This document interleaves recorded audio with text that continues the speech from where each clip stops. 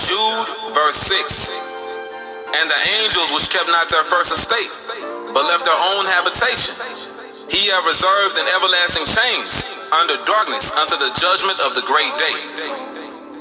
Barakatah Yahweh, Barakatah Yahawashi, Bahasham, Rakak Wadash, double honor to our apostles and elders, great millstone, peace and blessing to the hopeful elect of Israel, Shalom. Shalom to the hopeful elect. Yahawashi is coming back to break us out of prison.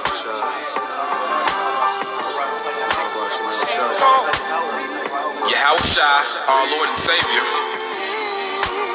our Messiah, our anointed one, the Holy One of Israel,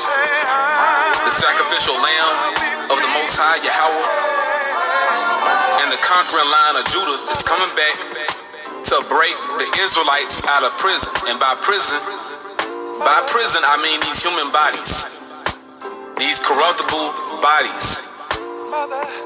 Yahawashi is coming back to set us free from these chains. The First man is of the earth, earthy. The second man is the Lord from heaven. As is the earthy, such are they also that are earthy.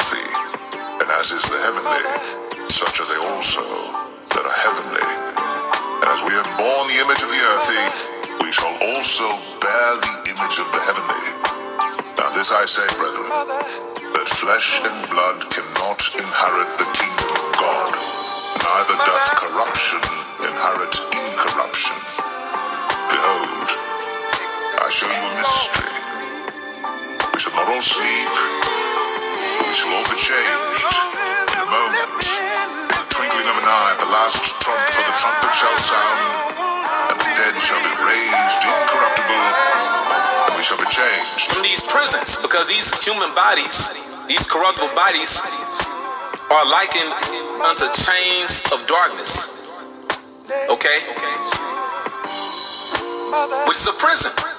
These are prisons for our spirits. And Yahawashi, he's coming back to make us free, man.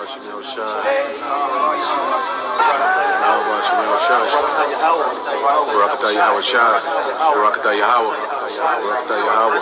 Barakatah Yahawashi.